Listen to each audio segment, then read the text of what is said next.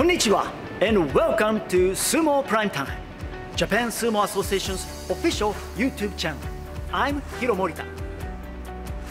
In Sumo Prime Time, we will unravel the enigma of sumo from all sorts of different angles and perspectives to let you know everything about sumo.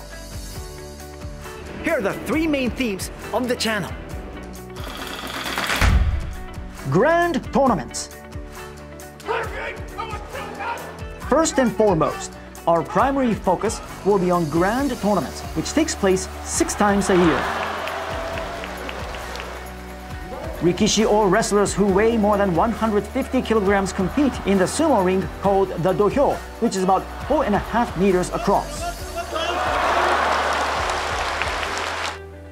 And we will provide each bout with my dynamic play-by-play commentary. Explosive charge by the two.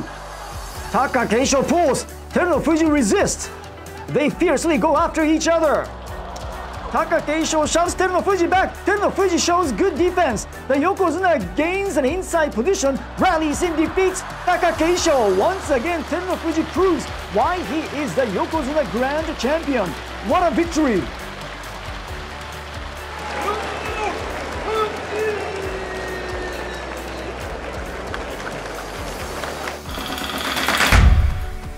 Rikishi. Next, we will focus in on the stars of sumo, Rikishi.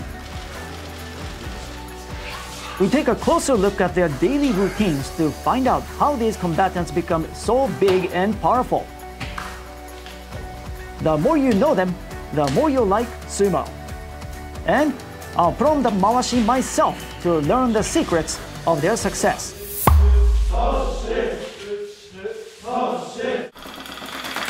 History and tradition.